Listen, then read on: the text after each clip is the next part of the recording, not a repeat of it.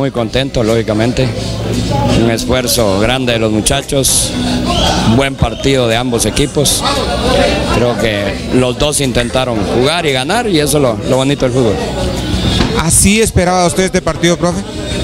Sí, sí, te soy muy honesto, las circunstancias te van dando conforme pasan los minutos el parámetro, yo creo que podíamos lastimar y por suerte creo que tuvimos la, la paciencia de buscar el marco tranquilamente, llevando la pelota en zonas importantes y pudimos anotar. Y se refleja en la racha positiva que tiene usted eh, luego que se hizo cargo del equipo, su tercera victoria con el equipo de Guastatoya. Sí, tengo un gran plantel, un muchachos que se esfuerzan todos los días, todos los días. Están trabajando, no bajan los brazos, están agarrando la mano de lo que uno quiere, saben de lo que pide uno dentro de la cancha, del esfuerzo que tiene que darse. Hoy con 10 hombres, saben ellos perfectamente bien que a veces se puede jugar, a veces no, y cuando no hay que poner ese extra.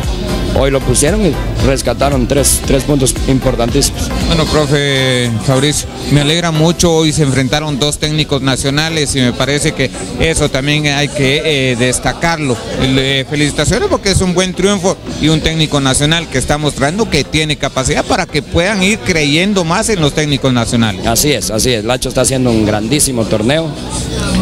Eh, bueno, hoy son circunstancias de fútbol que pueden suceder, pero el apoyo creo que a, la preparación que en estos momentos está teniendo el, entrenador nacional creo que es, satisfactorio. Sí, a pesar de que tuvimos por ahí, bueno, yo tuve un par, eh, por ahí otros compañeros tuvieron, sin embargo el, el bloque lo resalto, mantuvimos un bloque muy, eh, la verdad que te puedo decir perfecto porque ganamos, eh, por cosas por corregir, pero, pero es algo que nos llevó a la victoria y, y, a la hora de ir adelante creo yo que tratamos de decidir de la mejor manera y, y acá era de ponerse el overall, de, de, no solo quedar parados arriba y buscando la pelota, sino que también atrás eh, estar ayudando a los compañeros.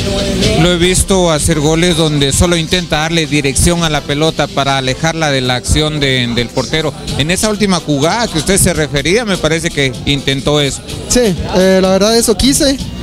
Por ahí las piernas me faltaron porque pues en el medio tiempo Aarón estuvo vomitando acá en el camerino y me mandaron a que le ayudara porque pues Shela empezó a, a sumar a Wilson Godoy de, de, ese lado y la verdad a Aarón le estaban haciendo el 2 contra 1.